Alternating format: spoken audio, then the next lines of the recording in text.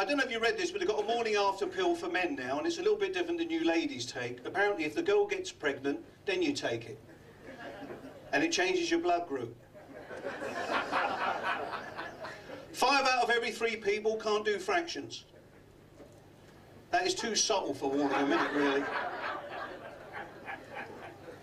And uh, one in ten people are dyslexic, which is true. I've got a friend of mine who's dyslexic. I was in the kitchen with him the other day. I said, can you smell gas? He said, I can't even smell my own name. now, ladies and gentlemen, um, I tell you what I'm going to do. Because I do a little bit something visual, I'm going to show you. And You can probably tell by my accent, I am a Londoner uh, from a little village just outside London called Whitechapel. Do you know now, as I do this, some of the older people, some of the more senior people, I look at this and think, my God, that brings back a few memories. And uh, I remember my old mum doing this. And uh, where are you from, sir? Can I ask uh, the gentleman at the front there, can I ask where you're from? Malta. That was very clever, sir. I was talking to you, and that was very, very clever. Now, I work with the best ventriloquist in the world. Now, that was really clever. And I can tell you, because I'm in show business, you've got a gimmick there. You've got the dummy drinking while you're talking. Now, that is very unusual. Where are you from, did you say? Malta. Warlingham. Malta. Morden. Yeah, that's it. Lovely, it's all right. I'm not immigration. I'm just a cabaret. I mean, you ain't got to worry. Yeah. Of course, and, and the gentleman at the front there, is that your wife you're with or your nurse? Is that? My daughter. Yeah, all right, sir. It's not an interview. It's just a sort of like a bit of stand up there. Where are you from? Can I be, can I be inquisitive? Limpsfield. Limpsfield. Right. Okay. And uh, in Limpsfield, they used to hang it in the outhouse. You come to Warlingham, they call it the wash house. But then I come from the centre of London, and we'll call it the shed. But those days were. I tell you what I do, ladies and gentlemen, on our little lovely showcase, and I'm going to pull little pieces of today's newspaper together. Then I'm going to give the paper a little flick. Now, as I flick and as I concentrate, I can actually restore that paper to its former glory. Now, every single page restored, inside and outside. Ah, lovely. Now, ladies and gentlemen, to be able to do something at that sort of like, uh, it took me about five years to be able to do that, and uh, you really made it worthwhile. there are two, you know, two ways of doing comedy and magic. One with applause and laughter, and the way we're doing it. Because I'm, you know, as I said, I'm getting on a bit. I've been in the business a long time, and uh, and uh, you know, we've got some distinguished guests. And uh, are you a retired man, or are you still working, sir? Still working. What was your What's your line of country? What do you do? Can I ask? I Design advertising. You're in advertising. What? You walk along with the big boards, do you? End is nigh. You're doing the end is nigh. Because you're at the age, aren't you? I'm not going to be morbid here, but someone said to me the other night, they said, Mike, what would you like someone to say at your funeral? And I thought this is going to be a wind-up in this club. And I did think about that, and I thought, I'd like someone to say at my funeral, hold on, he's moving. Uh, ladies and gentlemen, now, as I said, because it is uh, really building up, and uh, and uh, the gentleman there, can I ask where you're from? Can I be inquisitive, sir? Uh, Shirley? Yeah. And is that before the sex change, or is that right now? Uh, what was your name before you were Shirley then? Robert. Oh, Robert. Lovely. I can see you doing well, Robert. Now, look, I'll tell you what we'll do. Now, ladies and gentlemen, in this room tonight, and uh, look at the lovely bar staff up there in the, uh, in the Botley Hill Farm Hotel. Lovely people at the bar. The barman there, he's a little bit nervous, uh, but then I'll be if I was stealing. But he's a lovely fella. Now, what do, what's your line of country, sir? What do you do for a living? Can I ask? Can I be inquisitive? Banking. Banking, all right. I'll talk a bit slower then. Of course, I've got enough money to last me the rest of my life. Well, that's unless I buy something.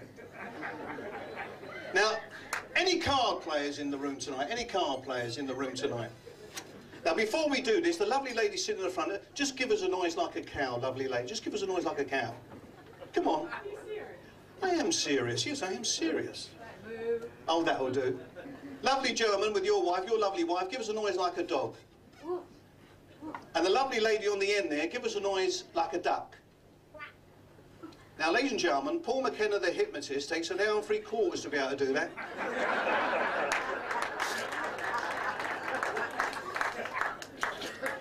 Okay. Now, what we're going to do, is, I said, tonight in the room there, and the gentleman there, uh, do you play cards? Are you a card player? Because look, uh, this is an ordinary pack of trick cards. These cards cannot be shuffled. They cannot be examined, but otherwise an ordinary pack, all right? I'll show you that again. I know a lot, a lot of people are like, look at that. I'll do it once more. Oh, shit. That's all right. I'll, I'll take it there. And I'll do it on the cabaret floor. We'll do it cabaret style. Look at that. Do you know, I did that three times. You didn't flinch at all. So what do you do for a living? What, you police horse? All right. I'll tell you what we're going to do. I'll go back up to the dais. And um, I tell you what, the, the gentleman there, I want you to think of any card. You're in the banking. Do you work for a particular bank? Can I ask? Can I be inquisitive? Uh, yeah. You work behind the counter, don't you? What do you do in banking, can I ask? Uh, buy and sell loans. Buy and sell loans, do you? So you brought a few of your clients in, I can see that. And uh, I tell you what, you look, uh, what I'm going to do, I'm going to try something very unusual tonight. What I want you to do, and uh, can I ask your first name again? Can I just be Robert? Before you were Shirley, okay? Now, Robert, I want you to think of any card in the pack. Just think of a card, okay? Now, you're a banker. Just clear your mind. Shit, that was quick, wasn't it? Have you got a card in your mind there? You got a card in your mind, all right. Young Robert, I've got lovely young Robert here with us, ladies and gentlemen. And what I want you to do, I want you just to concentrate on that card, okay? You got it in your mind? Uh-huh. Well, this appeals to me. Now, ladies and gentlemen, Robert, this would be a great trick if the card you're thinking of is this one, wouldn't it? Robert, for the first time, this is not a fix. Shout out the card you're thinking of. Six of diamonds. Correct. Would you like to see another one? And you had the choice from any of these, didn't you, Robert? I mean, you had the choice from any of these. And uh, you could have chosen the, right, this has got the six of clubs here. But I tell you what, ladies and gentlemen, because this is a very special night here, near Warlingham, on a Monday night. Now, what I, what I did, I took a card out of the deck, and I tell you what, I sealed it in an envelope before I come up onto the stage here. Robert, come up and join me for a couple of minutes. Give me a nice round of applause, ladies and gentlemen. Robert, lovely. Shirley? Oh, lovely. Only at the weekend. Only at the weekends, is it? You you just come sort of in disguise tonight, did you? And uh, you're a banker, are you? You are a banker. Just, just move your legs. That's it, and your body will follow automatically. Just step over there. Lovely. And uh, and you're with your lovely lady, I can see. And uh, Robert, the card you actually thought of was Six of diamonds. six of diamonds. Now I couldn't have possibly known that, could I? No. I tell you what I did. Inside here, inside this envelope, and uh, is one playing card that I sealed down before I come out on stage tonight in front of this lovely august crowd. Now, card you thought of, six of diamonds, no funny business. I'm going to play, ask you to just place your fingers in there, just get that card out, have a look at it. Robert, just show the ladies and gentlemen. Six of diamonds. Now, good trick, isn't it? See, now that's a typical British audience because when I work to the Americans, you know what the Americans are like, they're so gullible, they think I've got some kind of supernatural power. But because we're all Brits here, you think, shit, he's got 52 wallets. Because that's the way we are, isn't it? I mean, do you remember about 18 months ago, a guy called David Blaine came over to London. Do you remember him? David Blaine, this American magician. Do you remember him, Robert? Yeah, got in the box. Yeah? You've got the story then. Lovely. What was that, a film or a book? Now, oh, lovely, same lodge, good man. Now, he came over, this David Blaine, he came over, and he said to us British, he said, look what I'm going to do. And you're right, he got in that, remember that plastic box, that big plastic box, clear box? And he said to us Brits, he said, I'm going to be, I'm going to stay in there, I'm going to be hoisted up over, Tower uh, over River Thames, by the Tower Bridge, and I'm going to stay up there for 44 days and starve myself. Do you remember that? Let's face it, he knows nothing about us Brits because we don't give a damn if he dies, do we? In fact, if he said I'm going to die on a certain day, we'd have all been down there, wouldn't we? Now, Robert, lovely Robert here. Look, I tell you what I'm going to do. I want you uh, just, uh, we're going to do one more little thing because it's only a little short. It takes me a while to get going. Just take any card you like. All right, too late. And uh, lovely, I can see you work with your hands, you being a banker and that. And uh, Take it out. yeah, take it out. That's it. Show it around. Let everybody see it. Let all the people in the cheap seats have a little look up there. Lovely.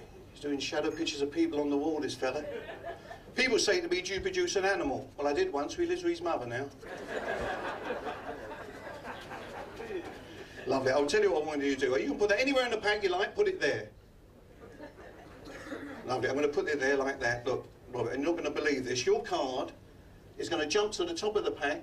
Remember your card? Little finger of a twist, your card jumps to the top of the pack. Look at that, eight of clubs. Well, I'd like to sing another song now. And uh, what was your card, Robert? Eight of hearts. Eight of hearts. We'll take that card, give it a spin. When it comes back, eight of hearts. How better? Good trick, isn't it? Good trick. Of course, if you don't concentrate, it goes back to the eight of clubs. Do you want to play for money? Well, you might as well. You dress like you're losing. Do you want to play? These bankers make me laugh. All those big bonuses, he's got jeans and a 14-year-old jumper on. Oh, 15-year-old. You like it up here, don't you? Because you like to expose yourself a bit. I know what bankers are like. But he's a lovely fellow. He's got a lovely smiley face. Are you working in the banking as well? You're a lovely lady. You're not with him in the banking? And did you buy him that jumper? Did you? That sweater? That's a lovely sweater. He's a good fella. He's out with the rest of us to have a nice night. Give him a lovely round of applause, ladies and gentlemen. That's it. Oh. God, I tell you what, that's the first time I've ever seen a banker jump, isn't it? ladies and gentlemen, as I said, we've only got short spots here, so there's a lot of things that I'd like to do, but I can't do. Um, because we've only this short of, uh, we're, we're, we're running this short, but uh, I did get pulled on the way here by the local police, and uh, the guy tapped on the window, and I wound down the window. You know what the coppers are like? At my age, they always look so young. And the first thing he said to me, you've been drinking? I said, I've been drinking. He said, step out the car. I thought, here we go. And I stepped out the car and he looked at me and he said, here, you're staggering. And I looked at him and I said, well, you're quite nice looking in a, a sort of official kind of way yourself. Didn't do me any good at all. Uh, how long have you been married, Robert, can I ask? 20 years. 20 years. Me and my wife, we've been married over 30 years and we're into oral sex at the moment. She lays on a bed with her back to me and talks me out of it.